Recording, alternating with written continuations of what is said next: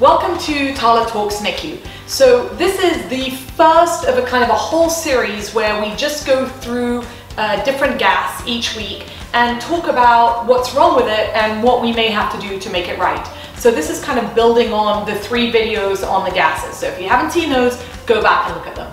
So look at this gas, it doesn't look very pretty. So we have a pH of 6.97, a CO2 of 155, crazy elevated, an oxygen of 35, bicarb is 22, and the base is minus 1.5.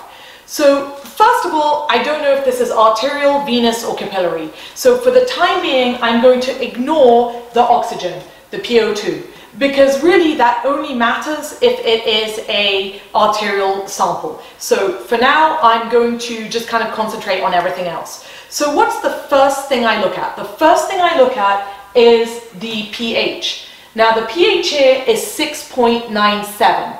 6.97 is way less than 7.4. So this is a very acidic blood gas sample. So we have acidosis here. So now the next thing that I want to know is, is why do we have acidosis? Is it respiratory in origin or is it metabolic in origin? Okay, so now we'll look at the respiratory component. This is massively elevated. So a normal CO2 is 35 to 45. We allow that to go a lot higher in micropreemies and preemies just because we have kind of permissive hypercarbia. We want them to just not have to push them too hard with their ventilatory support, but still 155 is a crazy high number. So definitely we have significant respiratory acidosis. What about the base and the bicarb here? A bicarb of 22 is actually very normal for a baby. So really between 20 and 24 um, milliequivalents of bicarb is normal for a baby. And a base, that's a completely normal base as well. If it was less than minus 3 or more than plus 3, then we would worry, be worried about metabolic acidosis or metabolic alkalosis. In this case, it seems very normal.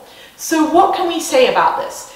We have an acidosis which is respiratory, but our base is completely normal. There is no compensation by the kidneys. So normally, as we all learned in the last videos, if you do have one system going completely one way, then generally the other system, if it can, will go the other way trying to correct it.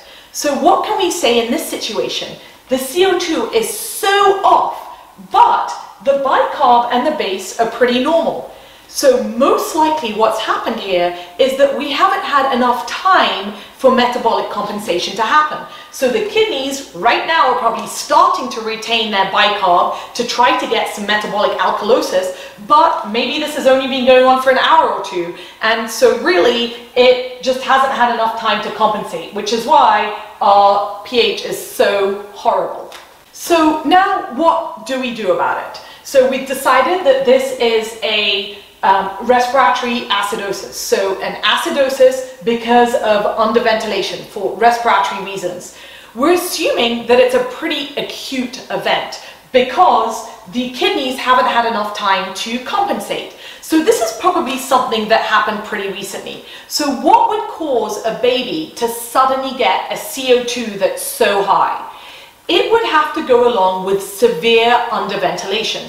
So maybe the baby has just stopped breathing or the baby was, you know, breathing happily on CPAP or something and then we severely sedated the baby and the baby stopped taking breaths or the breaths were really, really shallow. Because remember, ventilation is dependent on tidal volume, so how deeply you breathe, as well as rate, how rapidly you breathe. So if the baby was breathing rapidly and deeply and then suddenly is just like apneic, then the CO2 is going to build up. And again, something very sudden must have happened for the CO2 to be suddenly so elevated with no compensation at all. So it would have to be something like the baby suddenly becoming apneic. Because it is such an elevated carbon dioxide, this probably wouldn't be a situation where I'd be like, okay, well, let's just increase the rate by 10. I mean, it is so high that we want to make sure that we're not missing anything else, or we don't just want to go up on the PIP a little bit to try to improve the tidal volume. Again, because this is such an abnormally high carbon dioxide. So what we would probably do in this situation is get an x-ray of the baby. Because very often when a carbon dioxide is suddenly so high, it can indicate that this could be something mechanical going on. And one of the most common things that we see mechanically happening with an elevated CO2, with a baby otherwise appearing well, the oxygenation is kind of trucking along the same, is that the ET tube is either blocked or T deep. So just think about it, if it's blocked, then none of that CO2 can get out the oxygen that's in the lungs is kind of stuck in there. So it's going to take a little bit of time for this baby to become hypoxemic, but that CO2 can go up very, very quickly. If the uh, ET tube is too deep, it will go down the right bronchus. So basically, you're trapping all of the CO2 from one side of the lung. And again, that's another reason why you could suddenly have a very elevated carbon dioxide.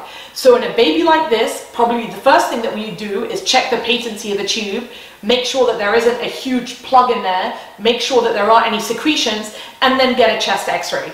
As we would expect, we had this gas on a baby, we went ahead and got a chest x-ray, and the ET tube was way too deep. We pulled it back, the next gas was basically almost normal. So remember, you don't just look at the gas, you look at the baby, and you look at all other signs and symptoms as well, including, if necessary, an x-ray.